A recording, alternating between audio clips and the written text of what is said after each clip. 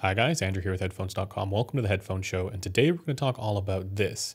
This is the Drop X Hi-Fi Man HE-X4, not HE4XX, not HE4X, X4, and I am confident that I'm going to screw that up in this video. This is Drop's latest collaboration with HiFiMAN to produce yet another entry-level planar magnetic over-ear open-back headphone.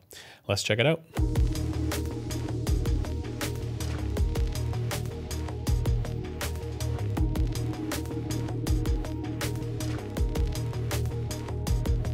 Okay, so as a disclaimer, this unit was sent to me by Drop for evaluation, but I've not been paid to say anything in particular about it, and all thoughts and opinions are my own. Big thanks to Drop for sending it along for review. In any case, let's get on with the review here, and I gotta say, when I got this in, I thought this was the same headphone, exactly the same headphone, as what I just recently reviewed, the HE400 SE from HiFiMAN. And actually, they are extremely similar, and if you haven't seen that video, uh, I've left a link in the description for that because it is worth getting a sense of how this performs to understand how this performs. In fact, they are so similar that I was convinced they were acoustically identical and that this was just, you know, a, a, slightly rebranded or, you know, different colored one. But in fact, they are not acoustically identical. And I'm going to go over that in this video, but I am going to spoil the review here a little bit and give my conclusion right off the bat and say that these two headphones are similar enough as far as how they sound that you shouldn't base your purchase decision on any sonic qualities, but rather all the rest of it. And by that I mean the weight, the comfort, the cable, etc., etc. I'm going to first go over why these are not actually acoustically identical, and the drivers are in fact different from one another. Um, at least, at least the international version of the HE400 SE is not the same as the HE-X4 for the driver, and then also explain why that ultimately doesn't matter. So I'm going to begin by showing you guys why I thought these two headphones were acoustically identical. The first thing that you'll notice is when you take the pad here off of the headphone, off of the cup, and look at the drivers, at first glance, they look like they're the same. And for anybody who's wondering, these are both using double-sided magnetic structures, even though that's not the only parameter there. There are multiple other parameters. This just happens to be the one that people focus on, but you know, it, it's not an indicator of better or worse, whether it's double-sided or single-sided. It's just one way of doing a planar magnetic transducer. But in any case, they look very similar to one another for the driver, all the way down to even the color of the glue that's used. You can see it's sort of like a pinkish color there. Um, add to that the fact that the pads are also identical, and the frequency response, which I'm going to show on the screen here, is also nearly identical. Um, now, it's not it's not perfectly identical for the frequency response, but it's close enough to where I think you'd be able to you know look at it and go, well, that's within you know unit variation tolerances or positional variance and things like that. And I really do think that that is the case. I really do think that you know when switching back and forth, I couldn't really tell much of a difference as far as the sound quality is concerned. And that actually is a very good thing because the HE400 SE, which again I recently reviewed, is a very good sounding headphone uh, for the price. Uh, again, I don't think that this is uh, competing with the HD 560S from Sennheiser. I think that's still a little bit better. That's the next step up. Uh, but you know, for the price that it comes in at, it definitely is. Uh, it's it's a front runner there for me. Now, with the HE-X4, the same things apply. All the same things that I said about the HE400SE apply to this one. But the reason why I'm saying now that these are not actually acoustically identical headphones, it has to do with the magnet structure that the HE400SE has that the HE-X4 does not have. And what is that? Well, the HE400SE has what HiFiMAN have called here their stealth magnets.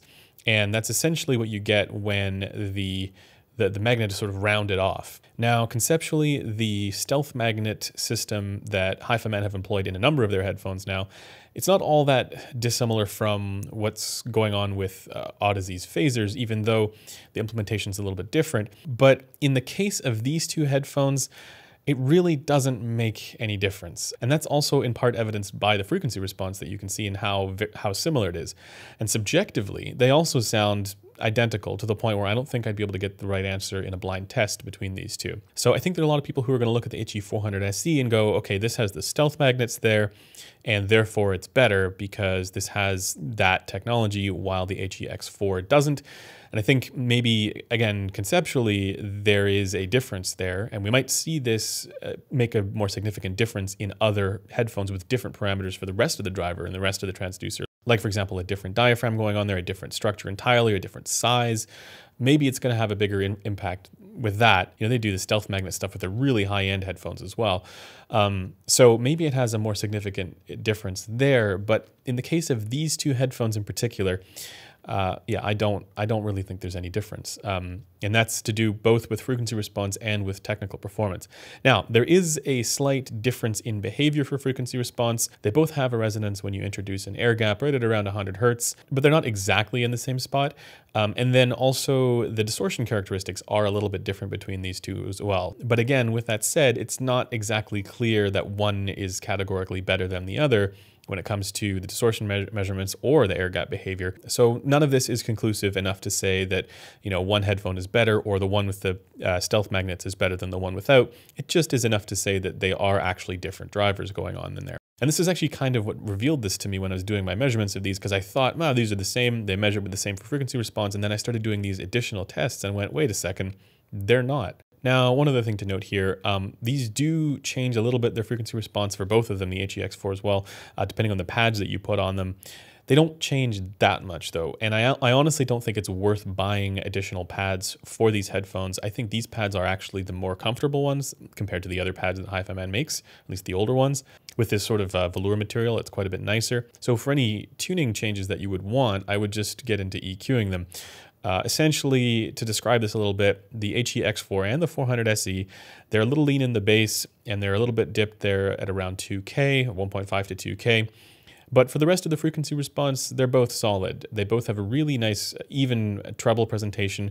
Uh, yeah, there's a little bit of a peak there at around 8K, but it's really not bad at all. And I would take either of them, or both of them, over the Drop HE5XX, which is essentially the Deva, acoustically the same as the Deva. Now, the same downsides that I mentioned with the HE400 SE apply to the HE-X4, and it's that the technical performance here is not that special. It is a little bit sluggish on the leading edge for the transients, the initial leading edge there. It's not quite as snappy or well controlled as the higher end uh, Sundara, and neither of them are particularly impactful for their macrodynamic quality either. And as far as the rest of the technical performance here goes, you have a, a decent sense of space and stage, certainly better than what you get on the HD6XX, uh, a little bit more similar to the 560S, although maybe not as even on the image distribution there uh, but it is a little bit more spacious. Doesn't have the three blob effect of you know the six series Sennheisers. And while you might not get the same kind of you know distance between the notes and separation qualities as the Sundara, you do still get the planar advantage of control during busy passages and generally good instrument separation uh, that and all the different qualities that come along with um, you know planar magnetic technology in general. So as far as the sound quality is concerned, both of these are solid performers for the price. And again, I think the biggest competition comes from the slightly more expensive Sennheiser HD560S. It's a little more well extended in the bass. It's a little bit more filled in the mids at the cost of not a, not as smooth of a treble response with the 560S. Now, essentially, I've said that these are not acoustically identical, but that for the subjective experience here and the objective data, it's basically a wash between them. They are close enough to where the experience is pretty much the same or close enough. Um, even though, yeah, they, they do have different drivers going on in here. And I'm guessing at this point, none of that really helps you guys decide which one to go for, which one to get.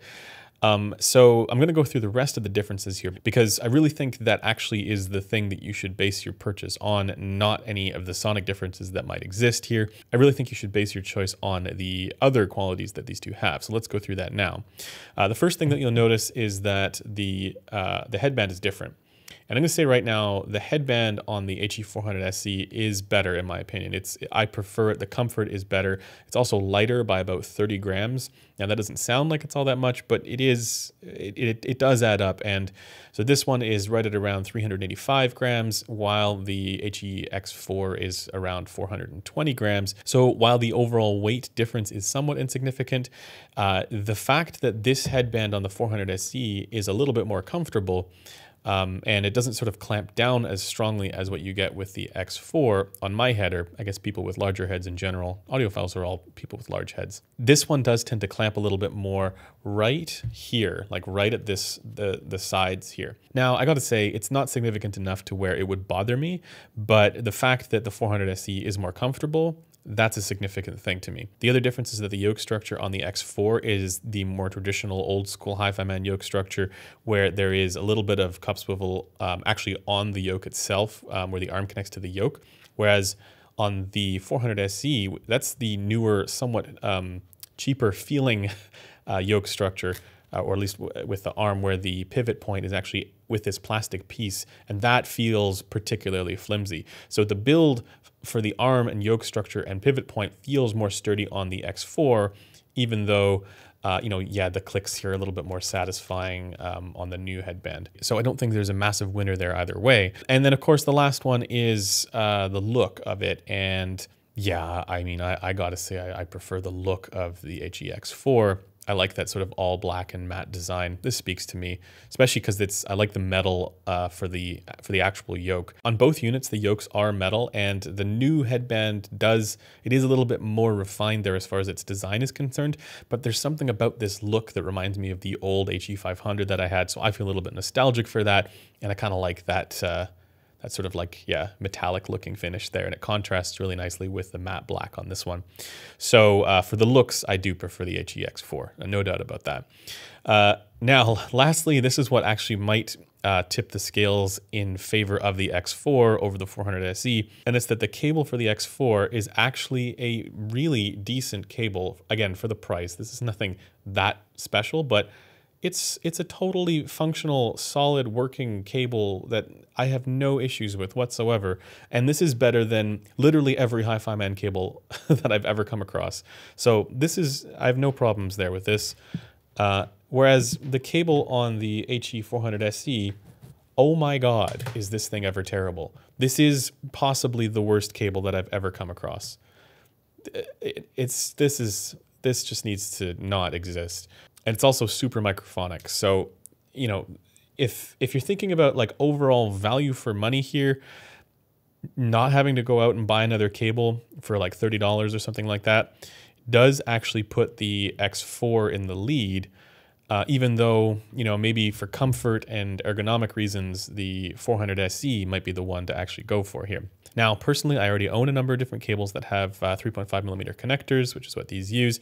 So that wouldn't be much of a deciding factor for me. And because of that, I would probably end up going with the 400 SE over the X4 because I just much prefer the headband. Even though it's not the greatest headband, I, I just think I, it's better than this headband here. Now it's at this point where I would normally do some comparisons, but again, I've done all those comparisons with the 400 SE and they sound basically the same to me to the point where I don't think it's worth doing that again. If you want to know what my thoughts are of the 400 SE's sound quality compared to competitors like the HD 560S, the 6XX, um, and the HiFiMAN Sundara, which I know they're more expensive, but you know the the next sort of tier there. You can watch the video on the 400 SE because all the things I said about that one apply to this one as well, uh, at least as far as the sound quality is concerned.